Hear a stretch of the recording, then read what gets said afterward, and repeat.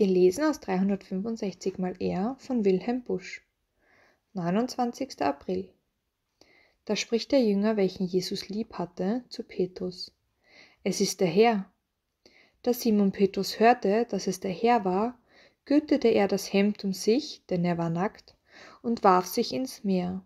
Johannes 21, Vers 7. Wer baden will, zieht sich doch aus. Petrus macht es umgekehrt. Als das Boot der Jünger nahe dem Ufer ist, erkennen sie. Der Fremde dort ist der Herr Jesus, der von den Toten auferstandene.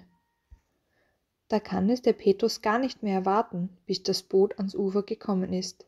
Er schwimmt hinüber. Wie hat die Botschaft, es ist der Herr, ihn elektrisiert? Welche Eile und Aufregung! Schnell legt er sein Übergewand an, das er beim Fischgang abgelegt hat. Ist das Verwirrung? Ist es Ehrfurcht vor dem Herrn, dem er würdig begegnen will? Wir wissen es nicht. Aber das merken wir klar. Es zieht den Petrus mit aller Gewalt zu seinem Herrn.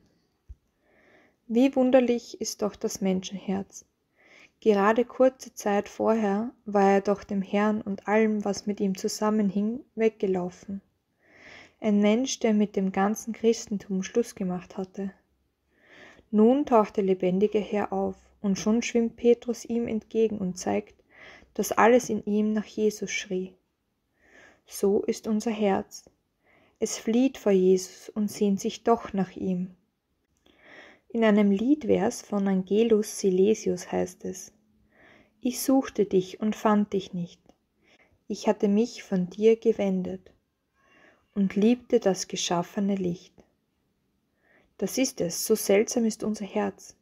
Ich suchte dich, ich hatte mich von dir gewendet. Flucht vor ihm und Sehnsucht nach ihm zugleich. Der Vers schließt, nun aber ist's durch dich geschehen, dass ich dich hab ersehen.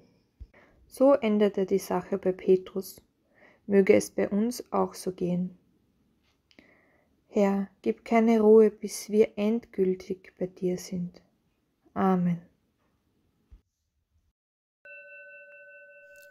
Ich kann dir den Weg zum ewigen Leben gerne zeigen, aber klingeln musst du schon selbst. Jesus wartet auf dich.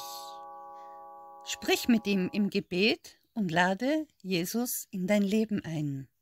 Du wirst sehen, er wird dir antworten. Herzlichen Dank für dein Abo, deinen Daumen hoch und deinen Kommentar. Teile gerne meine Videos, somit erfahren mehr Menschen von Gott. Weitere Informationen findest du in der Infobox unterhalb vom Video. Jesus Christus segne dich.